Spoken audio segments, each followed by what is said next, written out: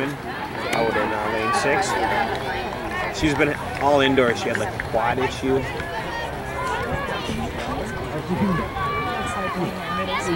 She's been looking better.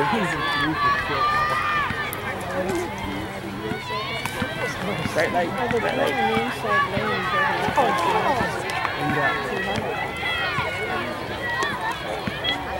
She just doesn't have it.